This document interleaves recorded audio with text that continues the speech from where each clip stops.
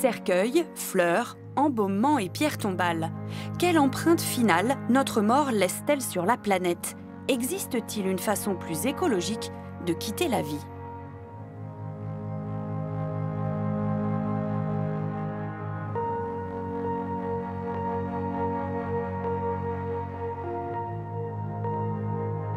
Je suis Amanda Clos et ici nous sommes au cimetière naturel de Souchet, à Niort.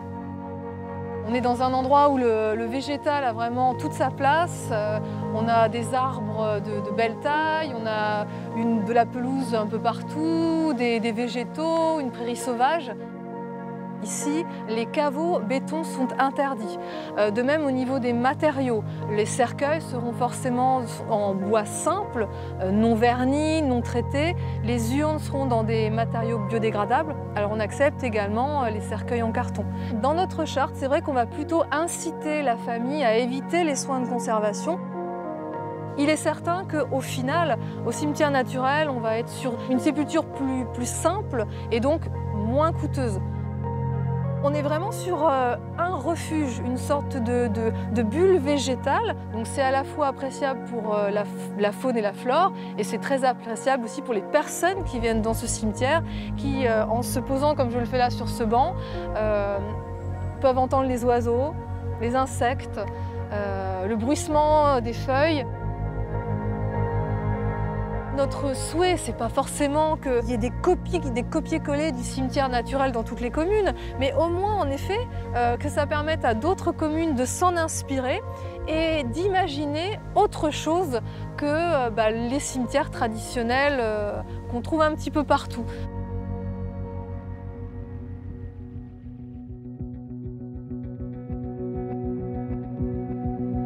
Être écolo après la mort n'est pas chose facile les deux options possibles en France, l'enterrement ou la crémation, ont toutes les deux une forte empreinte environnementale. À Paris, un enterrement classique, c'est l'équivalent CO2 d'un trajet en voiture de 4000 km.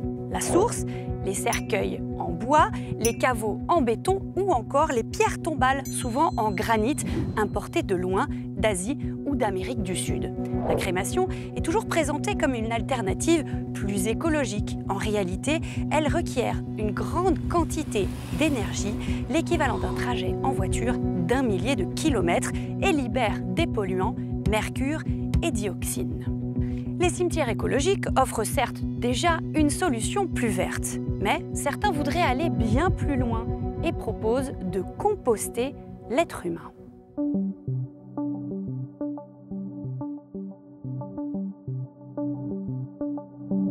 Il y a pratiquement 40 ans que pour moi c'est limpide, c'est dans une butte de compostage que je veux terminer.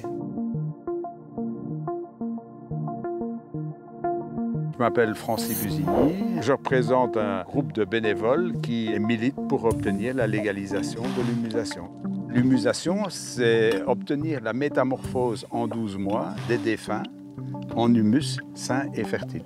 Aujourd'hui, on a constitué une butte de mise en humusation. On l'a fait pour un chien, c'est pratiquement pareil pour un, humain.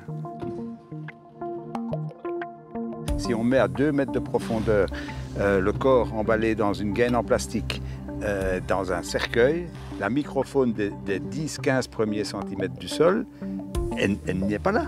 Et donc ça pourrit. Alors, comment fonctionne le compostage humain? Le corps est placé sur un lit végétal de bois humide, d'argile et de lignite, une forme de charbon. La butte formée est ensuite recouverte de paille, de feuilles mortes et d'herbes, puis arrosée. Les micro-organismes se mettent alors au travail. La température monte jusqu'à 70 degrés.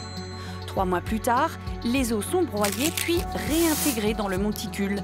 En un an, le processus est totalement terminé. La famille peut récupérer le compost. Ben, avant, c'était euh, euh, un chien.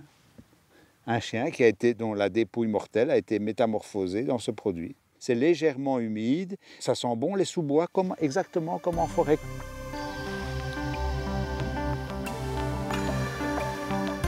Mourir comme ça, c'est pas mourir. De savoir qu'un an après, je vais faire pousser des fleurs, des arbres, pourquoi pas des poros, euh, et, redonner la vie à pour les, suivants, pour euh, toutes les générations futures.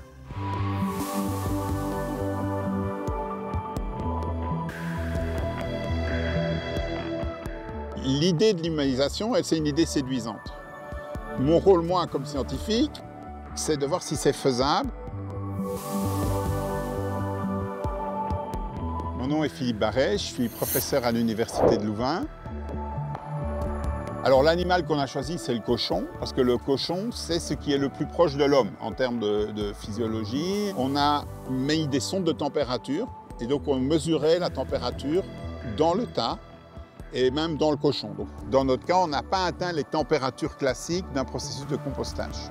On n'est pas arrivé à l'objectif d'avoir un cochon qui était ramené à l'état d'un squelette. Et aujourd'hui, malheureusement, on ne peut pas euh, dire que ça fonctionne. Ce qui est important, si on travaille avec des dépouilles humaines, c'est que ça marche dans 100% des cas.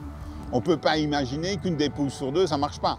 Mais en fait, euh, les contraintes sont telles qu'on n'arrive pas à atteindre cet objectif et que probablement euh, on doit être un peu plus modeste.